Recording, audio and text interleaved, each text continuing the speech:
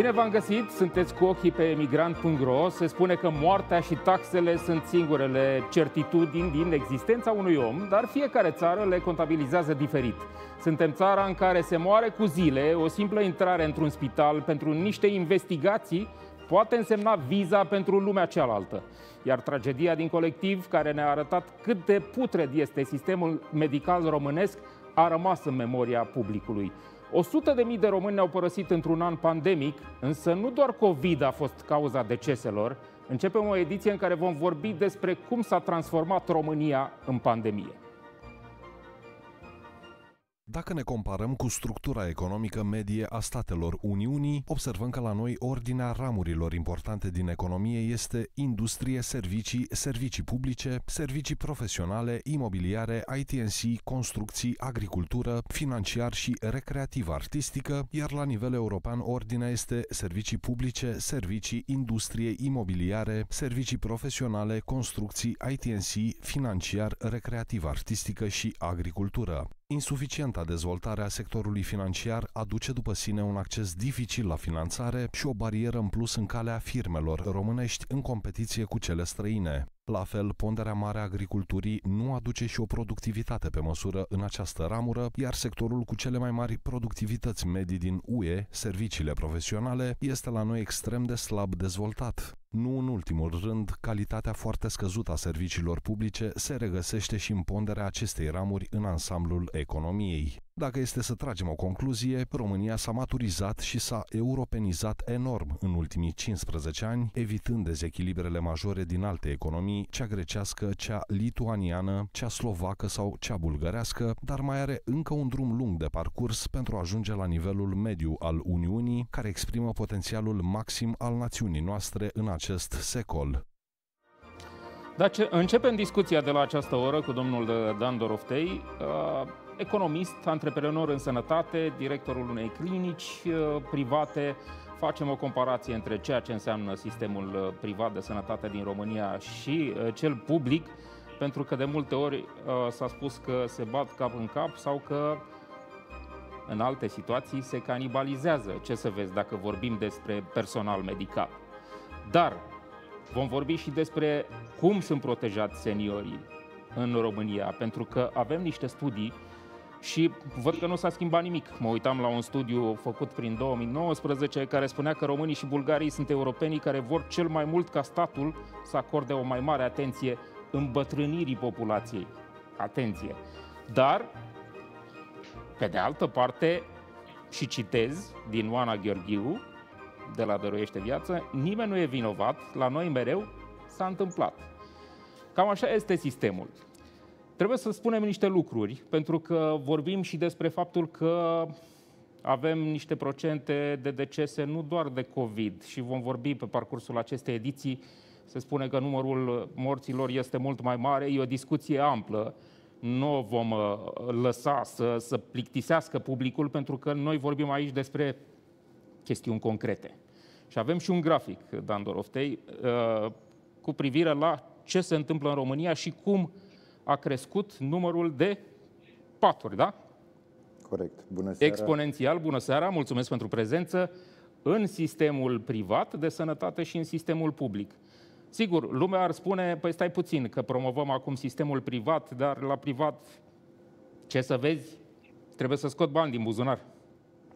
Da, uh, în primul rând mulțumesc pentru invitație, mă bucur să te revăd.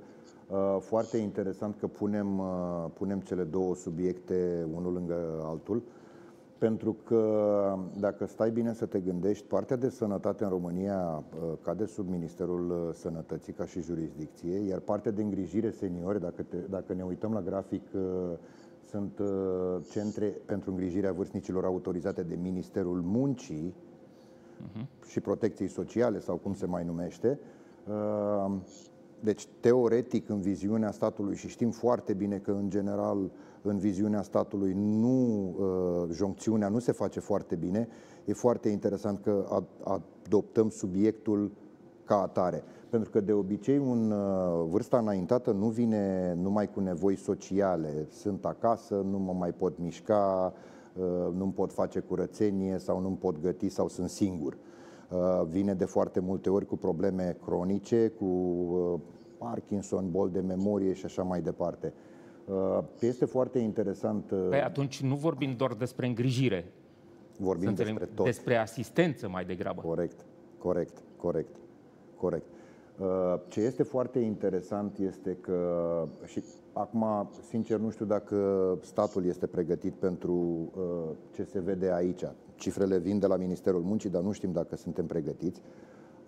Dacă ne uităm până în 2018, cifrele au fost undeva la 12.000-13.000 de paturi. Dacă ne uităm după 2018, respectiv 2019 și actualmente, am ajuns la 30.000 de paturi. Este foarte bine faptul că oferta există. Astea sunt cele autorizate. Nu vorbim de piața neagră, cele care sunt trei panseluțe și îngrijirea se întâmplă pe altă firmă. Nu vorbim de alte. Știm că există, toată lumea știe că există cine le acceptă, acceptă pe, pe riscul lor din, din prisma consumatorului, dar undeva aici uh, statul ar trebui să lase, după părerea mea, statul ar trebui să lase rolul de jucător un pic în spate, cum de altfel îl lasă. Dacă ne uităm, nu au crescut semnificativ uh, nu, nu numărul de paturi la, la, la stat, da. dar ar trebui să-și ia rolul de arbitru mult mai în serios. Uh, după uh, surse neoficiale, să spunem, din, uh, din Ministerul Muncii, uh, faptul că oferta este încă mică, pentru că este o ofertă mică, vorbim de 30.000 de paturi la o țară de 19 milioane, uh-huh. știm că aproximativ 4 milioane sunt persoane 65 plus. Este o rată de penetrare, cam de obicei așa se calculează uh, serviciile acestei, o rată de penetrare foarte scăzută foarte scăzută. În state este undeva la 11, ca să ne dăm 11%, ca să ne dăm seama. Da.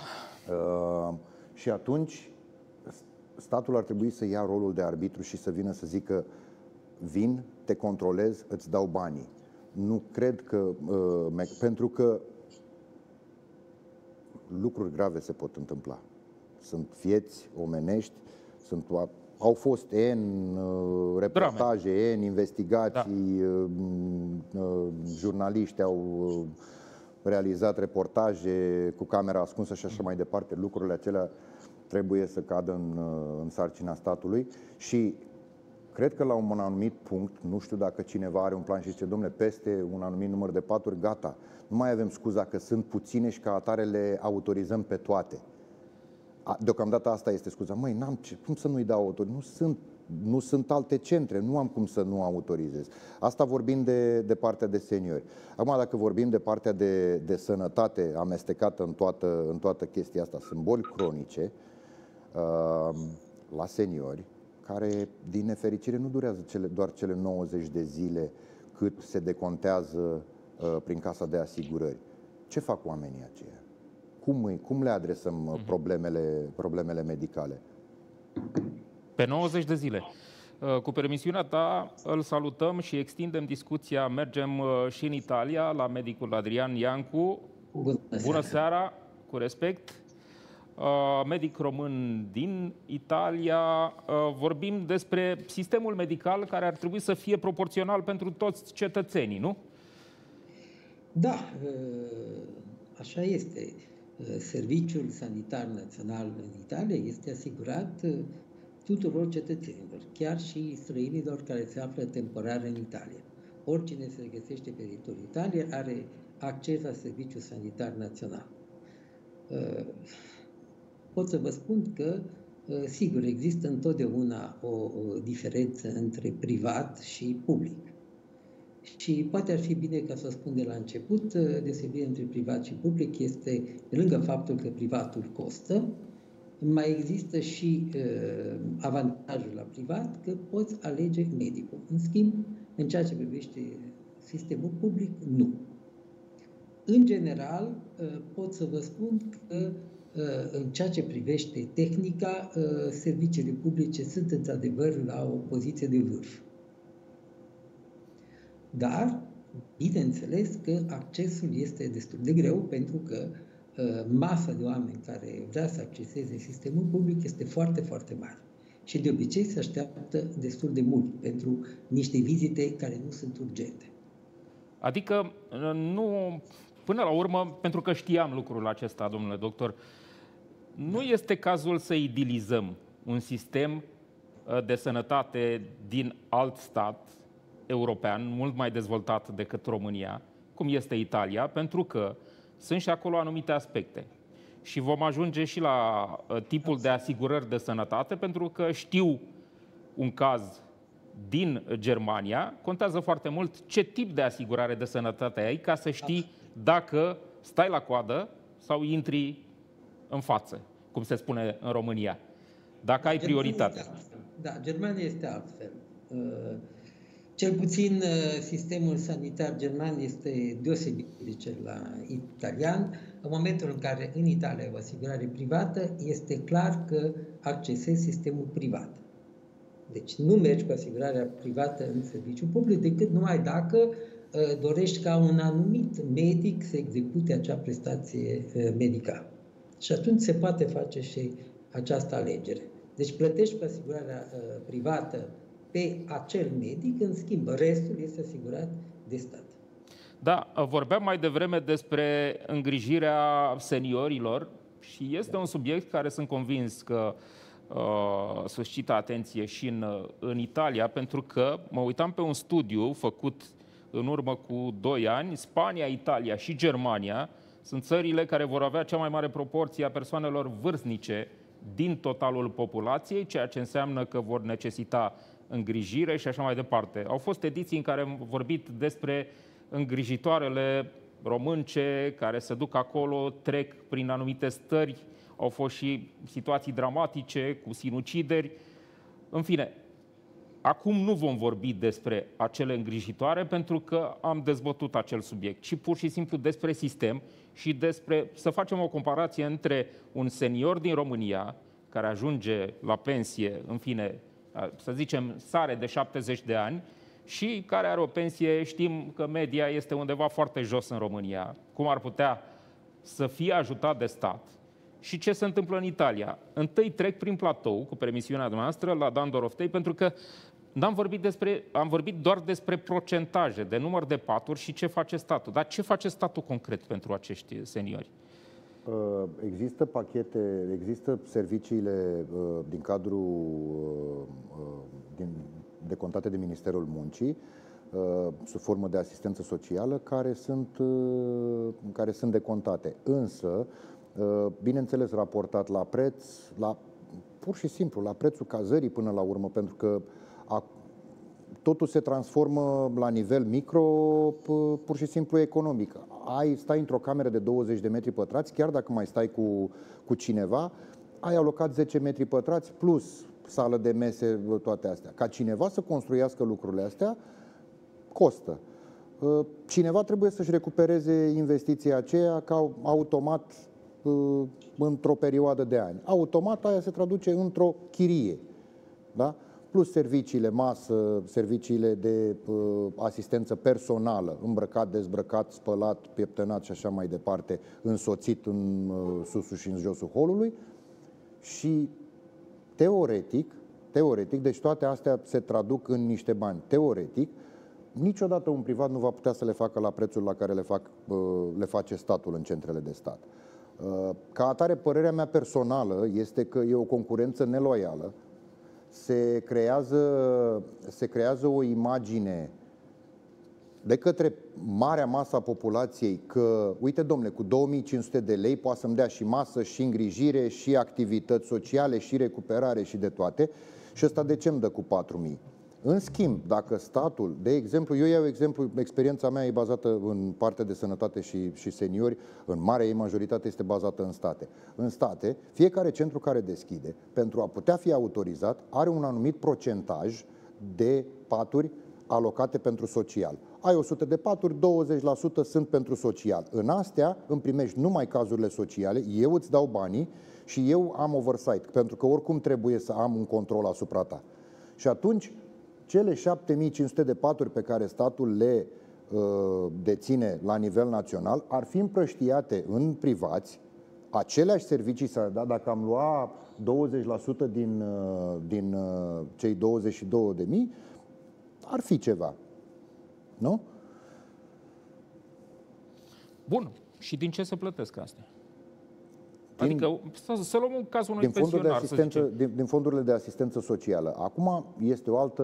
Pentru vorbim de state... Vorbim 4 de state milioane ca, de pensionari din România? Categoric nu toți vor putea. Și ca să vă spun un lucru, nici în uh, Statele Unite, repet, unde uh, experiența mea este experiența mea majoritară, nici acolo îngrijirea seniorilor nu este simplă.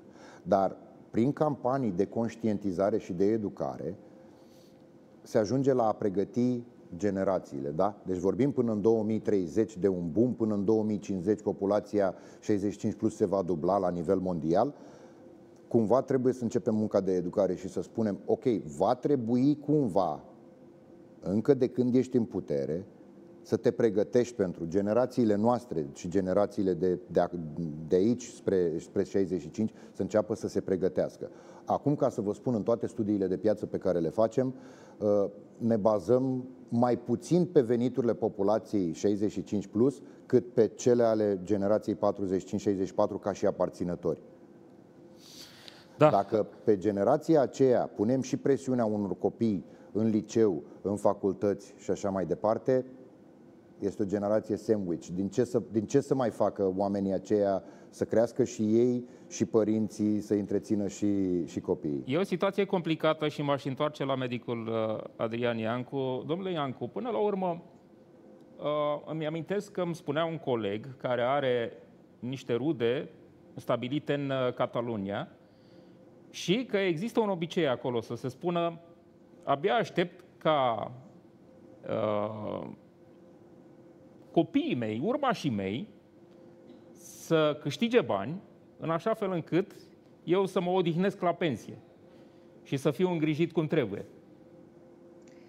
Credeți-mă că îngrijirea oamenilor vârstnici în Italia este o problemă foarte, foarte mare.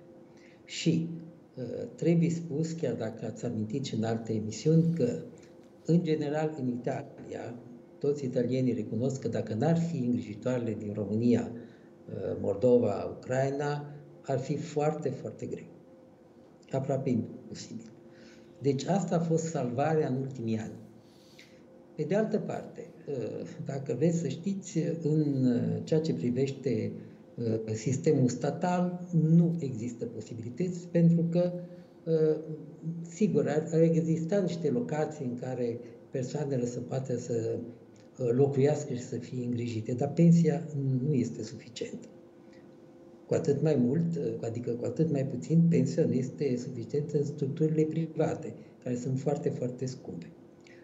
Uh, mai nou, Italia a conceput ca întotdeauna acel compromis între privat și public. Există acele structuri care se numesc privat-social, care sunt controlate de stat și pot asigura la un preț mai bun, dar totuși foarte scump, îngrijirea vârstnicilor. Da? Uh, problema mare este, cum am spus, că îngrijitoarele nu au uh, drepturi uh, suficient recunoscute. Este foarte adevărat că se tinde ca toată sănătatea publică să facă pe cât posibil ca persoana să fie îngrijită acasă, dacă, repet, acest lucru este posibil. Există niște structuri în Roma care au uh, un evantai de îngrijitoare care pot fi trimise la cerere. Dar sunt foarte, foarte puține oricum. Pe, pe de altă parte, vă închipuiți, în momentul în care o structură, în mod oficial, uh, se ocupă de o asemenea Uh, activitate, este clar că aceste îngrijitoare trebuie să fie formate, controlate și uh, nu pot fi luate așa uh, cum s-a început. Înțelegeți? Din păcate, pentru a face o trecere și la sistemul medical, pentru că n-am zis că alocăm toată ediția pentru acest subiect legat de seniori, v-aș lansa o provocare. Știu că în spațiul public s-a vorbit și se vorbește în alte state despre ideea de a-ți amaneta bătrânețea. Adică, ce spun prin asta? Cei care dețin, să zicem, o locuință, dacă au rămas singuri, pur și simplu pentru a, se, a putea fi întreținuți la pensie, după ce se retrag din activitate, pun locuința ca gaj, practic o valorifică și vor fi îngrijiți cum trebuie.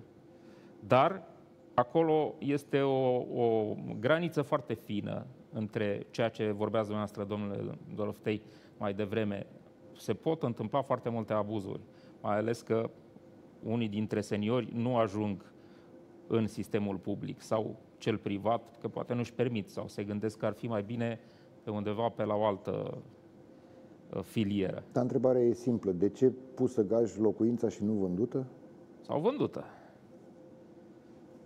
În state, când făceam studiile de piață, întotdeauna luam veniturile populației. Undeva acolo, uh, nu am regăsit statistica asta nicăieri în Europa, uh, pe categorii de vârstă puteam să, puteam să uh, segregăm datele cu privire la veniturile. Gen cum facem noi un PIB pe cap de locuitor, dar e așa o medie împărțită la, pe cap de locuitor, ceea ce nu e neapărat uh, uh, foarte uh, exact, dar uh, într-o anumită zonă puteam să spunem, în zona aceasta sunt 65 perso- uh, X persoane uh, în vârstă de 65 plus care fac venituri între 0 și 20 de mii, 20 de mii, 40 de mii și așa mai departe. Bun, acelea în studiile de piață pentru dezvoltarea de noi centre de seniori, am lucrat foarte mult în consultanță acolo, asta era o categorie. Cealaltă categorie erau cei care nu aveau venituri, dar aveau o proprietate. Proprietatea aia îți poate salva câțiva ani din viață. La noi, din păcate, ne lovim aici de o mentalitate. Am muncit toată viața, trebuie să o las copiilor mei, ca atare copiii mei trebuie să aibă grijă de mine la bătrânețe și se creează un cerc vicios. Uh, din păcate, aici cu mentalitatea va trebui să luptăm. În momentul în care o să realizăm că uh, pur și simplu o casă este un asset care poate fi valorificat exact cum cândva ne-am gândit, măi, ia, dacă s-a scumpit prețul, aș vinde-o și să iau alta. Exact cum la un moment dat ne-am gândit la lucrul acesta, este un asset până la urmă. Cum este, domnule Iancu, în Italia? Există uh, situații în care seniorii își valorifică locuințele pentru a fi tratați cum trebuie, pentru a beneficia de asistență Cred că da, cred că da, nu cunosc, nu, nu se vorbește prea mult despre acest lucru. Există și, un alt, există și o altă formulă juridică, aceea de a-ți vinde nu da proprietate, adică dezmembrarea proprietății, dar lumea nu prea are încredere. Înțelegeți? De exemplu, um, exemplu de dezmembrarea proprietății, nu da proprietate inițială funcționează așa. Eu vând nu da proprietate, în sensul că cine cumpără uh, nu apare nici la fisc uh, cu acea proprietate. Eu, eu rămân proprietar de plin până la sfârșitul vieții mele. În momentul acela, uh, în momentul în care nu mai sunt, proprietarul nu devine proprietar de plin. Există această formulă, nu prea este utilizată. Teoretic, tehnic, este o metodă foarte bună în momentul în care o prezentăm ca și o soluție. Însă, în România, de exemplu, haideți să vorbim de un apartament cu două camere la etajul 3 din 4 al unui bloc făcut în 1980, ca să nu luăm foarte vechi, 80, da? Uh, și o persoană care de-abia se poate mișca, care își târâie picioarele, atât, nu are altceva. În casă sigur are praguri, în casă sigur a muncit cumva acum 20 de ani să spun o gresie frumoasă, Uh, nu poate coborâ scările, deci este oareșcum izolat, chiar dacă, uh, chiar dacă este disponibil îngrijirea la domiciliu, pericolele sunt uh, la tot pasul. În momentul în care se împiedică, în momentul în care încearcă să urce în cadă, N. Deci, după părerea mea, pentru a nu avea uh, surprize de genul acesta, la un moment dat trebuie să spunem, ok, casa mea la care am muncit nu mai este potrivită, hai să mă uit la alternative. Da, uh, am promis că vorbim și despre sistemul medical, facem comparații. Domnul uh, doctor Adrian Iancu nu, nu va vorbi, sigur va face comparații, pentru că pur și simplu uh, are o altă specializare. Vom vorbi despre care e percepția față de sistemul medical din România, pentru că îl cunoașteți foarte bine, domnule Iancu, și uh, din uh, Italia, să facem o comparație, pentru că activați acolo. Uh, vorbim despre cum vede omul de rând relația cu medicul și cu instituția în sine. Pentru că s-a vorbit foarte mult despre o schimbare de, de paradigmă până la urmă și că în România de multe ori poate că și medicul mai greșește în felul în care tratează pacientul. Nu vorbesc, eu sper să fie aceste situații cazuri particulare. Pentru că nu aș vrea să ajungem cu această discuție să spunem medicii sunt de vină, pacienții sunt așa. Dar întotdeauna există o cale de mijloc. Cum ajungem la un asemenea sistem în care relația să fie una aproape partenerială între pacient și medic? Domnule Iancu. Deci să începem cu România, pe care nu o cunosc în mod direct, pentru că nu am avut uh, uh probleme de sănătate cât timp uh, mă aflu pe teritoriul României. Dar percep o uh, diminuare de mult timp a încrederii față de sistem. În ceea ce privește Italia, uh, pot să vă spun că, așa macroscopic, există o foarte mare încredere de la Roma către nord și o foarte mică încredere de la Roma către sud. Uh, sigur, există, cum v-am spus înainte, încrederea uh, în spațiul privat, dar acesta este deosebit de costisitor. Și uh, în ceea ce privește greșelile medicale, în Italia uh, medicii sunt obligați de câțiva ani să aibă niște asigurări foarte uh, importante în ceea ce privește malpraxisul. Pentru că, din păcate, în Italia, în ultimii ani, au fost foarte multe plângeri și cauze în care medicii au fost implicați tocmai pentru erori medicale, care, bineînțeles, că există. Da, îl salut și pe Cristian Vasilache, expert în economie și avocat. Au fost plângeri și la noi, să știți, uh, cu privire la cazurile de COVID. Plângeri penale, uh, medici vizați de la Institutul Marius Nasta. De, e o situație delicată, pentru că vorbim despre felul în care au fost tratate anumite persoane, despre uh, uh, acea iluzie. Știți că vorbeam și zilele trecute la telefon, fără a face o trecere de la una la alta, despre numărul real al deceselor în pandemie. E o discuție lungă, nu cred că se va termina vreodată și nu vom stabili care este adevărul, pentru că modul de calcul este total diferit, algoritmul este diferit. Acum a apărut o noutate din ceea ce am observat eu și vorbesc în materie de cercetare pură. Nu vorbesc de situații politice, de modalitatea în care a fost administrată această pandemie. Da?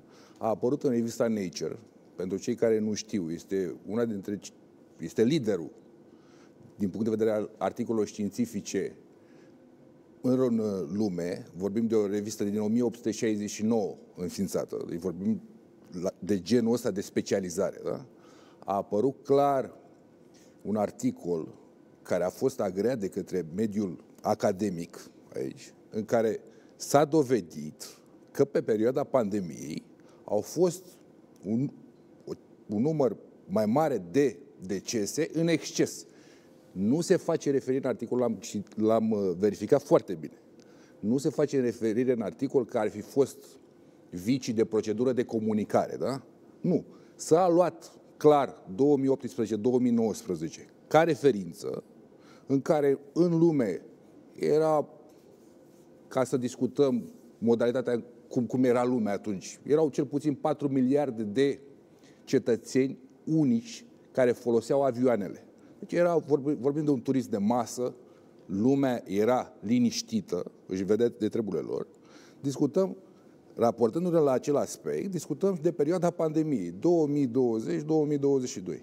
S-a descoperit că există, într-adevăr, un număr excesiv de mare de decese calculând aceste perioade. Nu se face referire că a fost vina unei, unui sistem autocratic, a unui sistem de sănătate publică din Franța, din Egipt, de exemplu. Și în Egipt, de exemplu, dacă vă uitați foarte bine, că am discutat pe acest aspect, diferențele sunt enorme.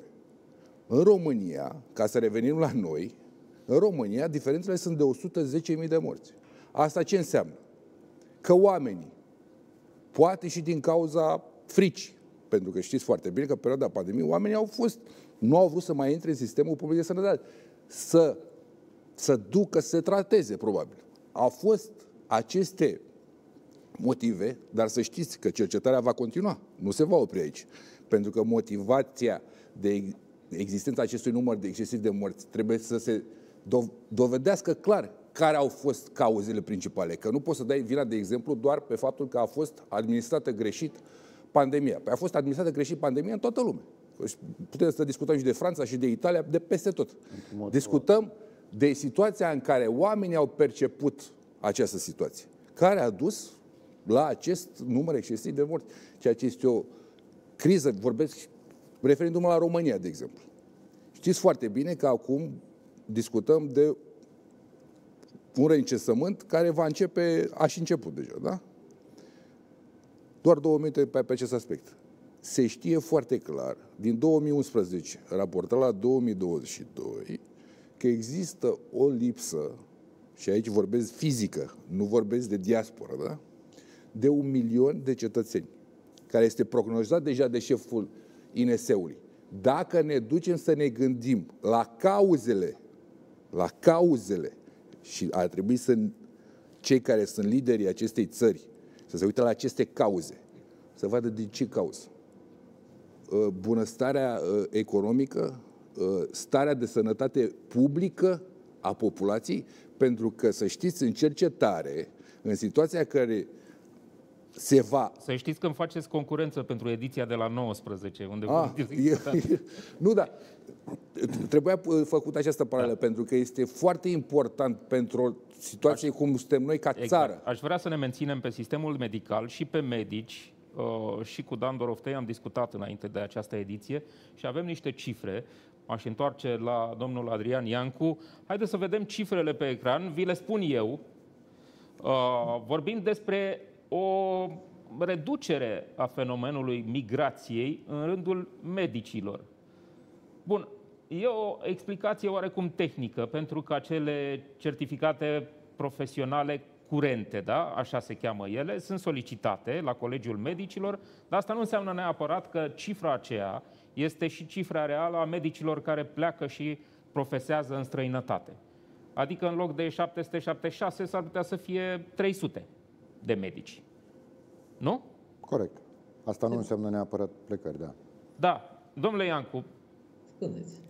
Vorbim despre o migrație. Ediția trecută, să știți, săptămâna trecută am vorbit cu cineva din domeniul HR care spunea că din nou suntem pe o pantă ascendentă a migrației medicilor, cum s-a întâmplat și acum vreo 10 ani, și când ne plângeam că nu mai avem cadre medicale, nu mai avem medici, pentru că au plecat în Occident pentru salarii mai bune. Acum pare să că cei de la Colegiul Medicilor din România spun că nu este chiar așa, pentru că veniturile au crescut în România pentru medici, nu mai este o discrepanță atât de mare, plus că mai ar fi vorba, spre exemplu, în pandemie, poate asta ar fi explicația pentru care cifrele sunt mai mici din 2020 și 2021, nu vor medicii să se confrunte cu anxietate și cu alte uh, probleme legate de singurătate, de, de adaptare într-un, într-o altă societate? Uh, nu, nu știu cum aș putea să vă răspund. Uh, ceea ce pot să vă spun, eu uh, locuiesc în Italia de 50 de ani. Din cauza să-mi cer și scuze pentru limba română precară pe care o vorbesc.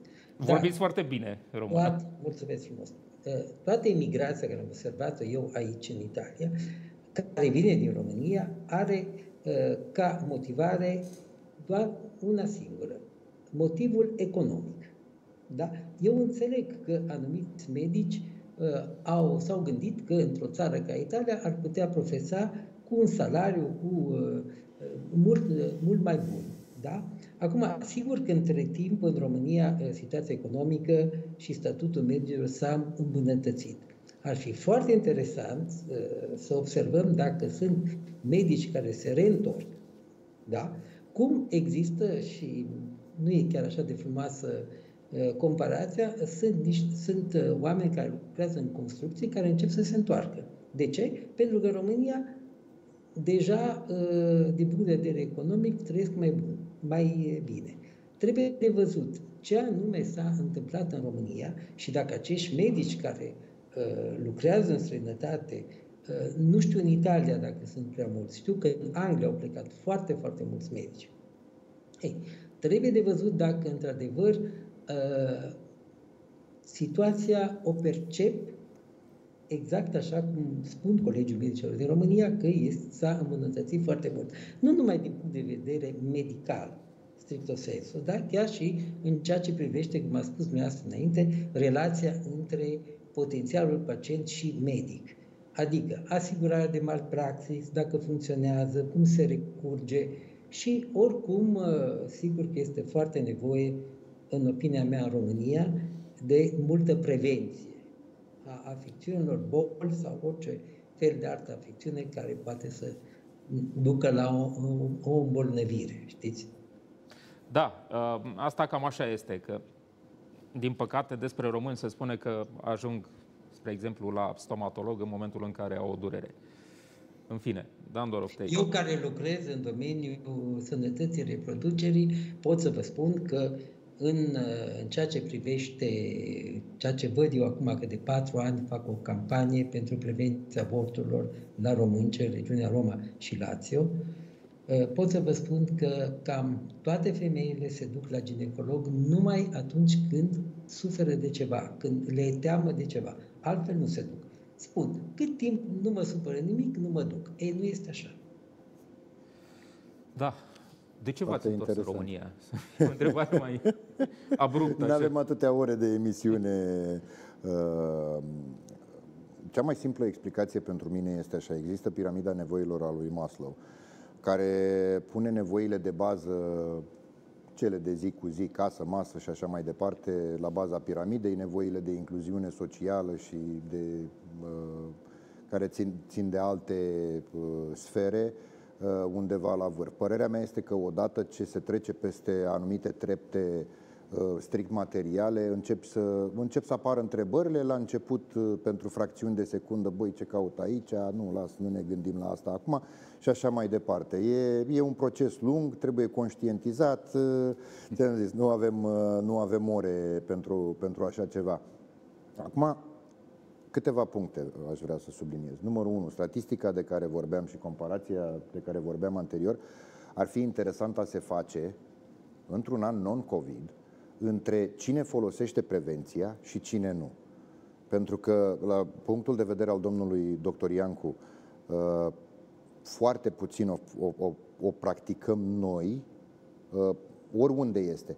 Dar prin metode sociale, pur și simplu nu-ți mai onorezi asigurarea. Dacă ai venit cu un caz acut care putea fi prevenit, nu beneficiezi decât 50%. Sunt mecanisme economice de asigurare, chiar și la stat, care pot încuraja un anumit comportament. Da. Aici vorbim prevenție. și despre percepție, pentru că sunt persoane care se duc pentru o simplă durere la un deget, la spital să beneficieze și alții care nu se duc deloc sau se duc când situația este gravă. Și atunci lucrurile se complică și, evident, și costurile acelei intervenții. Cel mai bun exemplu la noi în țară este, sunt abonamentele medicale și sunt un mecanism extraordinar. Abonamentele medicale fac atât de bine economic celor care le oferă, furnizorilor care le oferă, pentru că nu sunt folosite în pachetele acelea. Sunt vizite la doctor, analize gratuite. E un pachet complet care pentru prevenție și pentru alte uh, uh, aspecte e perfect. Nu sunt folosite și nici nu se reportează. Pentru că corect, corect. Păi, sunt abonamente, nu sunt asigurări. Da? Și atunci, normal că sunt profitabile, pentru că lumea nu le folosește.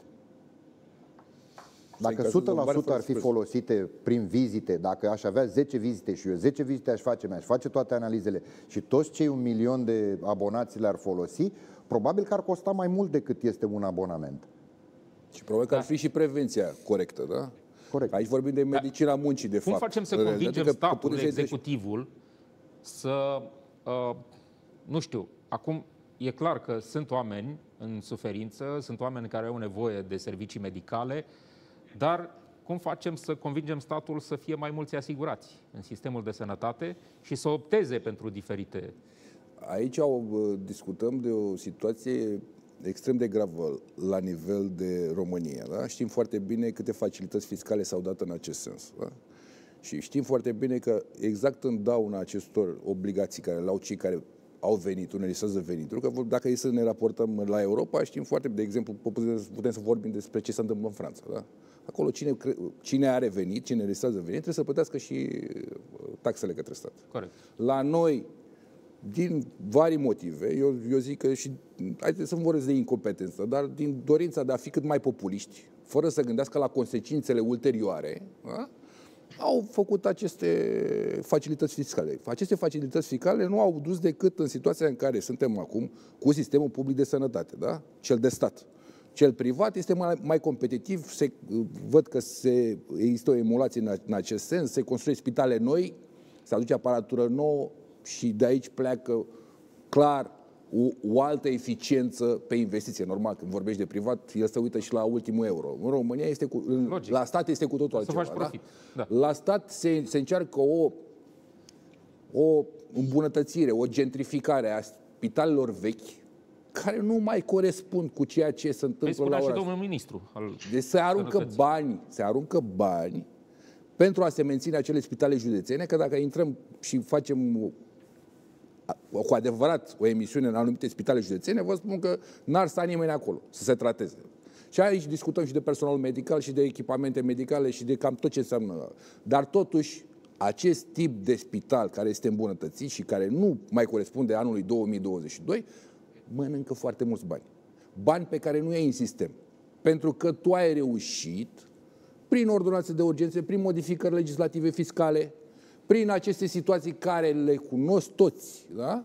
să șubrezești acest sistem și în situații de criză ne, ne întâlnim cu toate nenorocirile. De 2 ani de zile discutăm de spitale care au luat foc, da? care nu, au, nu corespund, iar la, la un, uh, în situația când se folosește aproape spre maxim, cum este situația asta, ați văzut ce rateuri sunt. Numărul de morți care îl avem deja înregistrat este mult mai mare ca rată și dacă să ne uităm la rata de infectați cu numărul de morți, este mult mai mare decât s-a întâmplat în Franța. Acolo vorbim de un 2%, aici vă vorbim de spre 3%. Deci care, situațiile sunt care clare e soluția? Aici. Pentru că știți și sistemul din Statele Unite și așa, s-a tot vorbit de contribuție un personală, privat, corect. de coplată. Până la urmă, ce ar fi cel mai bine pentru pacient și pentru sistem să funcționeze? În primul rând, pentru că porneam de la numărul de asigurați, uh, este ca și într-un buget familial, Corect. să spun așa. Dom'le, dacă atâția bani am, uh, ok, pot să fac ceva să câștig mai mult, pot să elimin anumite facilități fiscale, dar uh, diferența procentuală nu va fi substanțială, pentru că vorbim deja din cei 19 milioane populație, vorbim deja de 4 milioane bătrâni, 4 milioane copii. Jumătate s-a dus aproape. Bun și în condițiile în care menținem bă, această, această Așa. facilitate pentru pensionari. Pentru că în Franța, de exemplu, nu există facilitatea asta. Păi, asta mai, devreme vorbeam că nu au bani să se, mai devreme vorbeam că nu au bani să se întrețină, adică să Corect. ajungă într-un centru, dar mite să mai plătească încă un procent la, la sănătate. Corect. Asta este altă treabă. Corect. Ba, da, se discută dar, peste uh, plafonul de 4.000 pensii. Corect. În fine, sunt puțini pensionari peste 4.000. Dar uh, partea a doua este cum cheltuim banii. Da, e cel mai Și, într-adevăr, în a întreține spitale neperformante, să, să ne înțelegem, spitalele de stat sunt absolut necesare. Sunt anumite proceduri care încă în momentul de față nu pot fi făcute decât la stat. Serviciul de urgență performant, nu e, serviciul nu există de urgență în privat. Adică nu vorbim de un transport de ambulanță, ci de un da. serviciu de, de ambulanță. Corect. Uh, ci de un serviciu de urgență. Uh, desigur, dacă statul ar, ar... Este o diferență de mentalitate. Noi spunem privat și stat, privat și stat, privat și stat. În state nu există așa ceva. Sincer, eu am stat 12 ani în state, nu știam care este spitalul de stat și care, este cel, care sunt cele private din Cleveland, Ohio, unde am stat eu. Am știut, ca să vă dau un exemplu, am știut în momentul în care o prietenă a ajuns la urgență într-un centru de traumă, da? Însărcinată fiind și având probleme de sarcină și a pierdut sarcina, pentru că a stat șapte ore la urgență. Da? Sistem performant, vorbim de Statele Unite. Putea să meargă. De ce? Pentru că nu avea asigurare privată. Putea să meargă la un privat cu asigurare privată, exista perfect, serviciul de urgență, nu era nicio problemă. Da, este cazul despre care vorbeam uh, la un moment dat în această ediție și uh, îl cunosc foarte bine din Germania când suni și spui așa, vreau o programare pentru un control de rutină și așa mai departe. Și te întreabă, ce asigurare ai? De stat sau privată? De stat. De stat pentru că ai un venit mai redus, sub un anumit plafon. Bun, atunci uh, este disponibil uh, în ce lună suntem februarie, pe 31 mai este bine? Cam așa stau lucrurile și acolo. Dar așa sunt, să știți, în toate sistemele uh, NHS-ul, vorbim de uh, Anglia, vorbim de Canada, așa sunt. Așa da. sunt. Vă rog, domnule Iancu. Da, îmi permite să intervin. În Italia, în ceea ce privește domeniul sănătății reproducerii, avem uh, al treilea sector, adică privatul social.